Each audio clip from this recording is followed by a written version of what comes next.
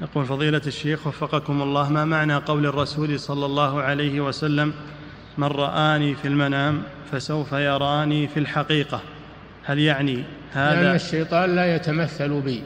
هكذا يقول الرسول صلى الله عليه وسلم. لأن الشيطان لا يتمثل بي. لكن هذا في الذي يعرف الرسول صلى الله عليه وسلم.